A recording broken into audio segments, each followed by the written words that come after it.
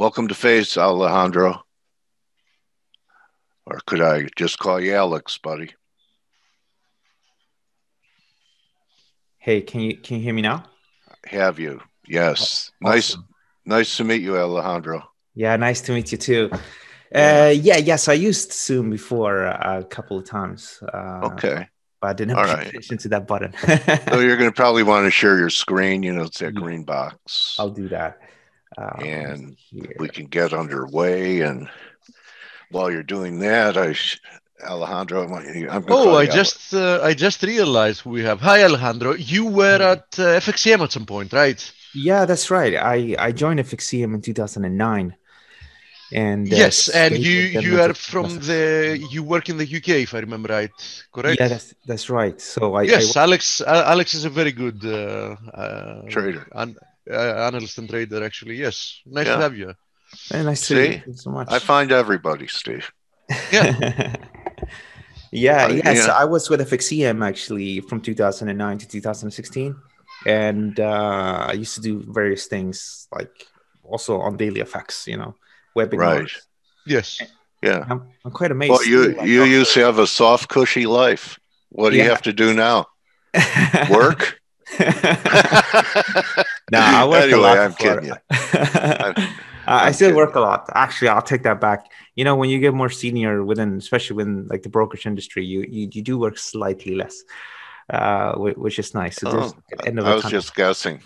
When All right, thank you for the confession. But you know what, Alex, I want to take you back even before those days, and uh, tell you know, not back to you know grade school or anything, but what were your aspirations uh, when you were younger, and how did you end up in this? So uh, when I was like uh, 18, 19, actually when I was 15 already, uh, I was into music and things like that. Uh, Yeah. I was I was born in Sweden, by the way, um, and uh, over there I was with music. So I wanted to get into that, and I wanted to study economics or sorry business and music. So I started with that actually at university in my first year. Uh, but then in Sweden, everybody needs to do like um, uh, there's like a conscript service. Like you need to do like Oh, uh, yeah, you need okay. to. So you need to do Yeah. like uh, military basic training. Yeah, like Israel, a lot of countries have it. It's you know part of uh, your yeah, we have it in. Greece. So anyhow, the story is already interesting to me because you're not a Swedish-looking guy, clearly. No, you I'm were- not. you were born you were born in Sweden and you managed to live a, a country that has these type of girls. I mean, I, I went there for my bachelor party and I almost never returned to get married. I get you. I feel you. Now it's His wife to be bought him the ticket to go there, and she was hoping he wouldn't come back. Okay, he won't. Tell, he doesn't. He doesn't talk about that and side and, of the and the fun part is that Swedish girls are so you know are so used to like um, you know tall blonde um like um you know excellent looking guys and you know they like exotic so i'm pretty sure alejandro would had would, would have you know and good luck there no, but it's it's true. You know, it's it's. i know true. i know like I, you know, when I go to when I go to because my parents are from Chile, South America, Mhm. and um, you know when I go and visit there when I was younger, you know, I'm married now, I have kids and everything, so obviously off the market. But when I was going back before, like I looked like everybody else, you know. So there was people were giving me no attention whatsoever. Only when I start to speak, they say like, "Oh, you you sound like a gringo." I'm like, "Yeah," but then that's it. Uh, no, but yes, it's, it's it's it's a different market over there, if we can say so, in Sweden, and uh, recommend everybody to check it out. yeah absolutely. Stockholm clubs just do it guys. So yeah, so yeah, so after military conscript, uh, like when I finished that, uh, you, you know, I had like a couple of months at home before going back to university, and my mother said, like, you're not gonna just stay at home because I was like 19, 20 at the time. You're not just gonna stay home doing nothing for the whole summer. You need to get yourself a job. Uh, so I'm like, yeah, okay, you know. So I just put an advert on. Uh, I saw some an advertising, like, uh, and I didn't know it was like a brokerage. I had really didn't know nothing about uh, the financial industry at that time, and I didn't Right. think they were gonna accept my application for that sales role, uh, but they did. Uh, and uh, there was a guy there, like the owner of the company. He used to work for Man Financial uh, in London, and he set up his own brokerage in uh, in, in Sweden in Gothenburg. So every morning we had like um, like a market update. We were talking about you know what's happening in the market, what's uh-huh. happening with non-farm payrolls, and this is in 2005, so 15 years ago. Okay. And uh, from there, I uh, started to sort of connect, uh, you know, news and with price action. Right. And uh, when I left uh, that company one year later in 2006 to return to university, I, changed and started to uh, study economics. So I continued studying economics and business. And I completed my three years. And then I went to a Swedish investment bank for a summer internship uh, and I was like a fixed income and FX dealer. Huh. So we're dealing with uh, Swedish bonds and uh, Swedish, right. Uh, the Norwegian kroner, uh, sorry, right. Swedish kroner, uh, and, and, things like that. but then after that, I went to London, did my master's in economics, and I graduated in 2009. Huh. And it was the middle of the recession. Right. And when I was at the Swedish bank, I actually spoke with a guy from Citibank, and he's like, "Yeah, yeah, when you come to London, I'm gonna give you a job, whatever." Because I was already then trading my own account, and I did some back testing with uh, Pro Real Time. If you remember that software. Uh, no, I, no. My Pro life is my life is my back test. okay, yeah. There's a Pro Real Time anyway. It's a charting uh-huh. software. It's like Trading View almost. Okay. Uh, so I showed him this. Uh, way many years ago 2008 i think it was but then in 2009 2000 and, uh, yeah 2009 when i graduated you know every the world was on crisis like everything was just everybody was just getting fired but i managed to get a, a, a job at fxcm uh, and i did oh. sales for three months even though i studied economics i wanted to be an analyst uh, but i managed to my, my manager eventually told me like look your, your sales are rubbish and there's a role like an analyst role to do research uh-huh. in Sweden, Swedish. Right. And and that's how I entered. So I, I finally got what I wanted after three months, and uh, and then I became an analyst. And this was yeah, You had a very fortuitous road compared Sorry? to what a very fortuitous road journey. Okay, uh, what does that mean, fortuitous? Um, you know, uh, I would say it means uh, fortunate. Oh, fortunate. Oh, yeah, yeah, I guess so. I mean, compared to what a lot of people have to do, uh, browsing the internet for trying to learn trading, etc. You know, I mean, you had a you had a nice route and doors opening for you. Yeah. Anyway, my tagline is "Don't just count your pips, count your blessings." I've done a thousand of these, and um, you know, a lot of people have a, a much uh, tougher time. Yeah. Uh, finding their way uh, in shark and barracuda infested waters like our I, industry. You know I what agree. I mean? I agree. The thing is, this always quite interesting. Like there was one trader at Swedbank Markets, the investing bank I was working for, that desk. Yeah. And he was like super experienced. Like they started like back in the old days, you know, uh, like like I think they're like 50, 60 now. Uh, so they they started very young. But the, the thing with him though is that he couldn't articulate exactly how he would trade. He would just go on gut feeling. So they didn't. I didn't really pick up exactly when to buy and sell. It was more like right. Uh, so, so. that was the challenge. And then uh, here at uh, FXCM in London, I was the only analyst at the time because the Daily FX team and all the other analysts were in New York primarily in Dallas. Mm-hmm. So I didn't have the opportunity to actually. No one was there to teach me the ropes. Uh, so who who influenced you? Was it books, or would you just say you're mainly self-taught, Alex? Uh, self-taught. I mean, I read the classics like John Murphy's uh, uh-huh. book many many years ago. Yeah. And uh, the thing is, is that what happened was that I, I caught up in this whole thing: short-term trading, scalping, day trading. Uh-huh. Yeah. And it also had to do with the fact that I had a relatively small account when I started. And at the time, this is the before you had micro lots, uh, when you only had the mini lots. Right. Uh, so because I only wanted to risk like one and a half percent of my account per trade, I was forced to have stop loss orders of maybe 35 pip at most. And, and what happened was is that I was getting stopped at all the time. Uh, then what happened, I think when they started to introduce the, the micro lot as well, I started to make more money. So I was putting that into my account. uh, I was starting to become more profitable. And then, just as a process of trading a lot, I realized that I made the most amount of money when we had some really nice trends on the daily chart. Right. So when we had like nice breakouts on the daily, like you know, when when you see uh, patterns that can give you some 300 pip or 400 pip, it was in those situations where my short-term strategy would make the most amount of money. But then I realized I don't actually have to trade really short term. I can trade slightly longer term because it's less stress on me. I yeah. just hold the positions for a few days up to a week or two. So it's less work. Uh, I just need to make sure the entry is right.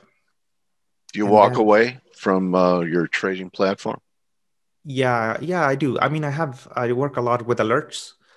Okay. So I just put alerts on and then I get the notification. So I can explain a little bit how things have developed. So I read, uh, you can see my chart, right? So uh, obviously, you know, I, I always looking at the daily chart. So I always had a very good sense of trends in general, and I used to work with just simple breakouts to new daily highs and things like that. Yeah. Uh, but I started to study a bit like what Peter Brandt did, um, to sort of, and that helped me to formalize things a little bit more than than I had in the past. Okay. And uh, at its core, I just focus on six different patterns. I focus on the rectangle, actually three patterns: rectangle, head and shoulders, and bullish and bearish descending. Well, bullish uh, ascending triangle and descending triangle, bullish okay. and bearish rectangle, and bullish and bearish uh, head and shoulders. So those six patterns I focus on. And I like to look at something like a six hour chart or a four hour chart. And I would look at patterns that are at least four weeks, uh, sometimes a little bit older, like a month or two. And I, I feel a little deja vu here. Alex, were you at our trader summit, the last one we did? Uh, no, no. I okay, all right. First time Someone else that was a real classical technician like you. I can't remember who it was, but I just was getting a little deja vu here. Oh, okay, yeah. so okay, so uh, I love this stuff. It's clean, um, you know, no indicators, and um, using a telescope instead of a microscope. You could say so, yeah. So obviously, there's some there's some stuff happening in the background, of course, like correlations a lot. Yeah. Uh, so that helps to to make more sense of things. Yeah. And obviously, I studied a bit of economics, but I noticed in the least year or two that it doesn't really, I don't really pay attention to it at all anymore. Even though, like, part of my work means that I have to read up on it. Like, uh-huh. I do uh-huh. some CNBC interviews and stuff and all that. And I read up ahead of those interviews just to be able to answer some questions. And of course, I have a long term view on things. Uh, but mostly it's, it's sort of technicals. And, and this would be probably the typical example where you have like a big consolidation phase, like a big rectangle to some some extent. Have a low here from June last year, another low here from September last year, and then you have the low from December. You have the high here from November 20th, uh, from November, another high here in December. And then what we're looking at here is a classic rectangle like sort of difference between this point and this point is 718 pips. And some of these big patterns just on their own, they're sometimes difficult to trade but if you have like a smaller pattern like this one here, where you have a smaller rectangle, uh, yeah. then that helps a lot. So the smaller rectangle pattern is this one, and that gives you that target. So when you have those right. combinations, yeah, it I tend to generate really good returns. Okay. Now I'm not as patient like everybody else. Well, not everybody else. I, I think I'm. What do you mean uh, of sitting to a target? Yeah, I wouldn't actually push. So in the past, what I've done is I will try to keep the position for, for example, like this, like 718 pips. But I many times I found myself, you know, I have a very decent profit and then it goes back and I get stopped out at entry or for a small loss. And mentally, that's a bit draining, you know, if you do that all the time. So what I'm doing now is I just go taking partials. Uh, I actually, yeah, sometimes I do partials, but most of the time I just try to go out uh, relatively quickly. So this one here, I bought this morning and I'm up with like 10 pips so far. And uh, I'm hoping I can get out here. That would be like a reward ratio of uh, 4.3 times. Actually, I'm working with tighter stop. Let me see. No, that's correct. So this is the low from yesterday evening. Uh, so uh, around the New York close. Yeah. And I bought here uh, on the breakout and okay. this early morning. And obviously, if I would get all of this, it would be a 4.3 risk reward ratio. Am I going to keep it all the way up to that point? I'm not really sure. Maybe I'll just. When do you trail your stop to uh, uh, uh, pull it up? Like if you had another 40 pips or so, maybe uh, bring it up to BE. You ever use BE stops? No. Or, because- or market stops only? No, I don't. I don't use any like sort of break even stops because what happens is many times because we enter like in the middle of the move, Yeah, uh, the price is just going to come back and touch that level. right. I could, of course, if I wanted to, I could probably put the stop loss below the low here Okay. from this session. Right. Uh, but I you want to give it more tolerance. exactly. I don't really worry too Let much. Let them breathe. Exactly. Give it some wiggle room. So usually I would give it a few days to the upside. And then, you know, maybe it gets stuck here for a day or two. And then I start to reduce things. Now, this is quite interesting. So a lot of people focus on the initial residual ratio, you know, the one you look at here, which is that you can get like a, a 4.5, uh, 4.6 residual ratio. However, I noticed like this, if you're good at projecting the trend, what happens automatically is, is that you're gonna be able to reduce your stop loss. So most of the time, I'll be able to reduce the stop loss with up to 40% of my initial risk. So if I'm risking 100 pip, I can usually Yeah. reduce it. So I'm just risking 60 pip. Okay. So what happens automatically, I can reduce the stop loss a bit. And then suddenly, if I would keep it towards target, I would get a 8.32. But as I mentioned Yeah. before, I'm probably not going to keep it to target. Maybe I'm going to get out at 77. Or even if I get out at 76.50, somewhere here, I get that 4.87 times residual ratio. Yeah. So what's quite interesting is after the fact, you know, what's the effective average loss versus the effective or the typical average win after you trade it, you know, 30, 40, 50 times. And that uh, that is really what's interesting is the after the fact initial risk reward ratio. That means that sometimes one can take positions where the risk reward ratio is not necessarily optimal, at least not initially, even though it's good to have a good risk reward ratio that is good from the very beginning. Okay. So, I this- noticed. Yeah. No, go ahead. Go no, ahead. no, Alex. please, no, please. No. Um, well, I noticed. Uh, I went to your uh, Londinium.com website. Yeah, yeah, yeah. Yeah, and, and it it looks like you um, you manage a fund. Uh, am I interpreting it correctly? Uh, I, I, I do help. Uh, no, I don't manage a fund. No, Okay. No. Okay. Uh, Is that help- a trading education site, or because I know you're featuring some type of account on there, Yeah. So that's I can, managed I, account? I can load that. Uh, so it's not. It's it's just. Uh, what if, if I would have started with ten thousand uh, dollars when I started trading with my personal account. Uh, Okay. So you so in, in 2014. okay. So what's kind of interesting is well, this actually I wasn't profitable until 2014. So in 2014, I started trading, and then uh, I effectively been collecting all my trading results because I use pretty much the same account. yeah. That in combination with a crypto account that I have, and then right. this would be the results if I would have started with 10,000. I actually had more than 10,000 at the time, but I've been moving money in and out of the account because I bought a flat in London where I live in uh, 2018. Uh, but this gives an indication sort of what one could have expect uh, to some extent. So what I do here is that I it's educational in a way that I share what I trade. And Mhm. then it's obviously up to the readers if they want to use that information or not. And I explain to them like this is the pattern, this is why I'm trading it, this is why I put my stop loss here, this is why I'm risking like one and a half percent of my account or one percent or two percent. Uh, so, so that is what I do here. I also manage this website. I created this one, which is called investingcube.com, which I'm not the owner. I'm just the, uh, I just set it up for them and manage it. And this is like a news website. And here I'm leveraging my experience from Daily FX. Uh, and I also used to manage another website. So this is, we get like a quarter of a million people visiting this website every month. Uh, Wow. How yeah. long ago did you uh, start that? Uh, so uh, we got it included on Google News uh, on September 2019. So uh, yeah, we, we're doing really good here, uh, numbers wise, uh, Wow. and we want to beat. We obviously we're not going to beat FX Street anytime soon, but I do think we could hopefully beat them. I mean, I know the guys over there, so I Yeah. met them many times. So yeah, we want to Yeah. beat them. We want to beat everybody on the news on the news side of things, right? Uh, Uh-huh. It's news. This is not like trade ideas. It's, this is just news, you know.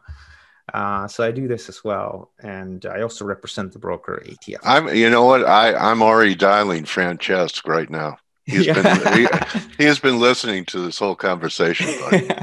He's All not right, going to so- take it seriously though, because I think he he. Huh? I'm I'm at a quarter of a million, and Yeah. Francesca, I think he's like at. Uh, I think he had 21 and a half million users last month. No, last Wow. year. yeah. according to a post he did on um, on Yeah. LinkedIn. Maybe he'll buy me Yeah. one day. He'll buy the company one day. There you go. You have a lot of plans. yeah. Alex is a man with many plans, a renaissance man. So you trade and you develop websites, and uh, your demeanor is uh, calming. Uh, yeah. You know, just having a conversation Yeah. with you, Alex. So, um, uh, is that the best? Uh, do you want to talk about anything else in the markets? Because you know we are pretty close to wrapping, and yeah. you know I've done many of these, and I could tell I I can tell who's a pro. Cool. I talk to them, and and Yeah. you know uh, we've joked around a little bit, but you know I already respect you, Thank you. and uh, you're now my trading warrior brother. Like it or not, you can't get out of it. It's like being in the mafia. awesome. right. Thank you so much. so Yeah. Alex, uh, yeah, I I hope you have a great year, yeah. um, and perhaps we, you know, in the spring we could do this again and uh, see what kind of things you're looking at now. Good hunting on the pound CAD trade, buddy. Thank you. Um. Thank you. Uh. Yeah. When you ever come to London or so, just hook. Uh, send me a message. We'll grab something to eat or a drink. All right, everyone. Thank Alejandro. Okay, and you could find him uh, at Alex100.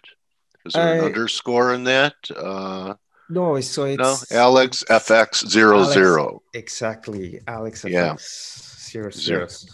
Yeah, So and you could uh, go to his web website. It's L O N D I N I U M F X dot com, londiniumfx.com. Exactly. Thank you. Thank you, my trading warrior brother. Cheers. Thanks Good so much luck. for having me. Talk soon.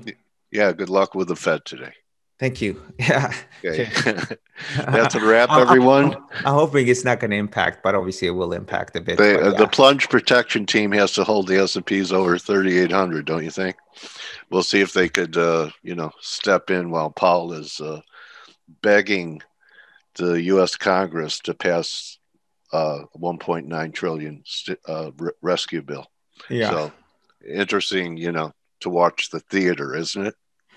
Yeah, it's always interesting that, uh, but I, I I know what you mean. It's always interesting. I, I don't pay too much attention to it anymore, though. I used to pay a lot of attention to it, but uh, not not anymore. Uh, and I don't like to trade those events either because I always get I- stopped out. But obviously, there's Yeah, there I- I don't like trading. red events. And you know, uh, I'm just looking for this one thing that I wrote uh, that w- really comes from Livermore. Yeah, Um, anyway, I can't find it. So, uh, you know, he's saying really that, you know, the name of the stocks change and everything else changes, but Wall Street will never change because human nature never changes. I agree with that hundred percent. You know, like Yeah. there is there are some really good books. There's another one, um, one of the classics. Uh, let's see if I can find it. Uh, operation what operate a stock market operator here it is all right the pockets change the suckers change the stocks change but wall street never changes because human nature never changes beautiful. Yeah. All right Mhm. partner Cool. have All a good guys. week alex really uh, uh great meeting you i'm glad our paths crossed uh i'll thank twitter for Cool. that Cool. All right, buddy. definitely. Cool. Thank you. Have a good day, guys. All right, Yes. everyone. That's a wrap. good luck with the Fed later. You could, you know, uh, go to member chat if you're part of our community. Otherwise, we'll see you all tomorrow. Remember, don't just count your pips, count your blessings. And if you could find one thing to be grateful for, it's hard to be depressed. Uh, I've tried it. You can't be grateful and depressed simultaneously. See you, Monica, Laura. Adios.